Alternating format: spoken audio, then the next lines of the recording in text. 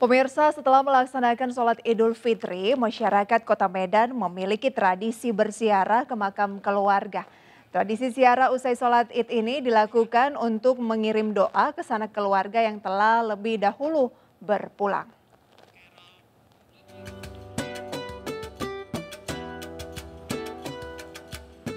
Usai melaksanakan sholat Idul Fitri, warga jamaah Masjid Al-Muhtadin di Kelurahan Pekan Labuhan Kota Medan, Sumatera Utara langsung melakukan ziarah kubur ke makam keluarga dan kerabat yang telah meninggal dunia.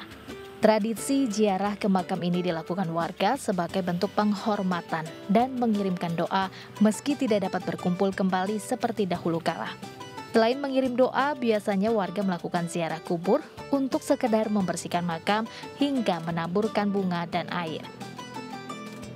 Setiap sholat id, masing-masinglah para jamaah mendatangi kuburan yang mana orang tuanya dan anak-anaknya.